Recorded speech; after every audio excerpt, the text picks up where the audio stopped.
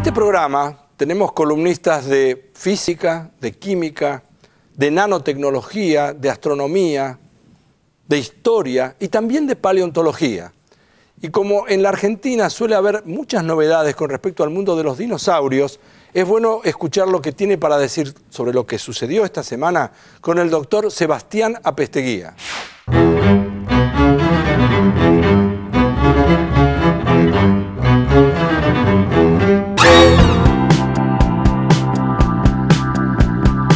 Estamos en la Universidad Maimónides en Buenos Aires en el marco de las Jornadas Argentinas de Paleontología de Vertebrados.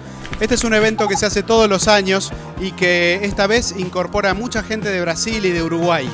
Aquí se reúnen todos los paleontólogos de vertebrados argentinos y lo que hacen es comunicar, darnos charlas sobre cuáles fueron sus últimos descubrimientos, por ejemplo.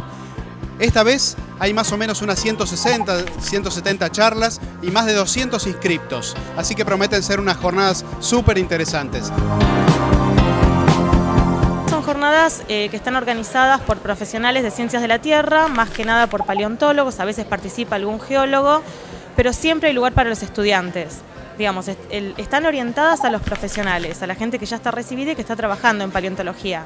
No es la primera vez que vengo a las jornadas de paleontología, ya hace más de 25 años que vengo a las jornadas. Yo me encuentro en estas jornadas de paleontología eh, para exponer mis trabajos como paleoartista y también para dar una serie de charlas. Voy a dar una charla en el marco de las primeras jornadas de técnicos dentro del marco de las jornadas de paleontología de vertebrados, acerca de los 22 años de campañas del MEF, del Museo Paleontológico de Gidio Ferulio de Trelew.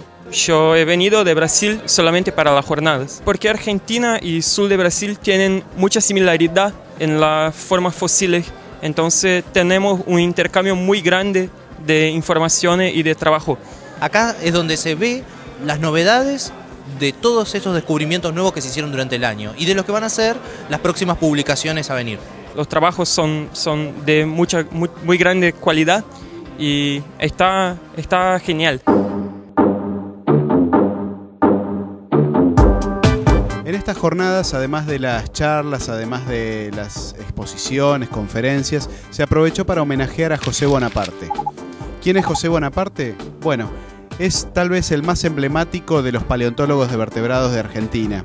Es el propulsor de la investigación en el Mesozoico en Argentina. Es decir, es básicamente el descubridor de una enorme cantidad de dinosaurios y de otros animales, de otros vertebrados que vivían en la misma época.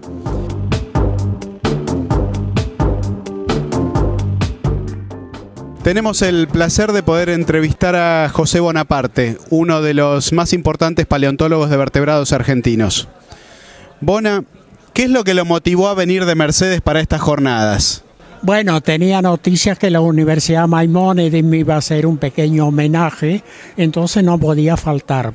Por más que tengo una tracalada de años encima, tomé, tomé, el tren y me vine para estar presente. Además, esta es una reunión de paleontólogos de vertebrados que me interesa reunirme con colegas y con chicos que han sido estudiantes míos. ¿Y qué es lo que ¿Cómo se siente usted ahora al recibir un título honoris causa? Bueno, yo desde luego me siento orgulloso, pero no me, no me ayuda a sentirme más importante que antes. No, al contrario. Me parece que un poco el transcurso de los años ha alentado a la gente joven a hacerme un homenaje más, alentado más el transcurso de los años que los últimos trabajos que yo he realizado. bueno, muchas gracias, Bona.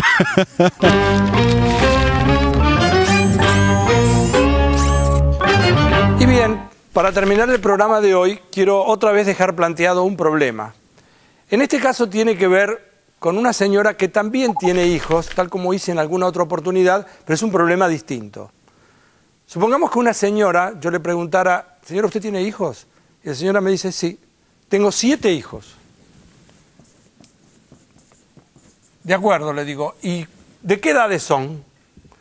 Me dice, mire, la verdad que mis siete hijos son así. Yo tengo dos parejas de trillizos. Digo, qué bien. Me dice, y las dos parejas de trillizos, y, y además eso me da seis hijos. Con el séptimo, si usted hace el producto de todas las edades, me da el número 6591. O sea, si uno multiplica las edades de todos los chicos, de los siete chicos, da el número 6.591. Entonces yo le digo, ya sé entonces cuáles son las edades de sus hijos. O sea, sabiendo que la señora tiene siete hijos y que de los siete hijos hay dos parejas de trillizos y que el producto es 6.591, uno puede descubrir entonces cuáles son las edades de cada uno de ellos. Usted también puede, lo único que tiene que hacer es pensar un rato. Y nosotros nos vamos a reencontrar la semana que viene aquí en Canal 7, en la televisión pública, y estoy seguro que vamos a poder encontrar la respuesta juntos. Chao, gracias y hasta la semana que viene.